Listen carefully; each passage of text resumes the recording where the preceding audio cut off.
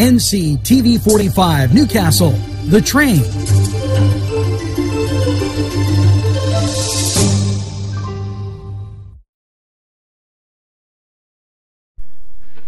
Town and country where there's always a party.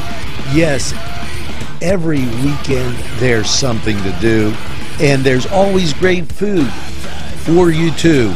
Lamb, finger food, steak sandwiches, roasted wings, and much, much more.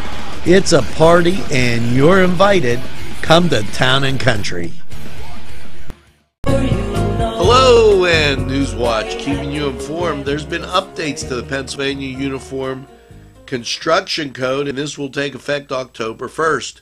Most comprehensive building codes updates for commercial and residential construction since 2009. The Department of Labor and Industry announced today that the Pennsylvania Independent Regulatory Review Commission, and there's a lot of initials there, IRRC, recently approved the adoption of an updated regulation for Uniform Construction Code, making the first time the majority of building codes for both commercial and residential construction that have been updated since 2009. It, it's been nearly a decade since there's been a major adoption for more current codes, a change that is expected to have a positive impact on both commercial and residential projects in the Commonwealth, said Labor and Secretary Jerry Lowski.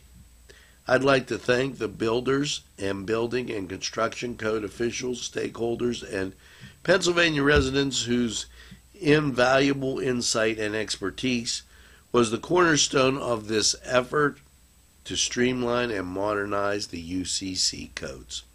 Now, uh, we're going to take this break, and when we return, a whole bunch more waiting for you on your favorite Newswatch.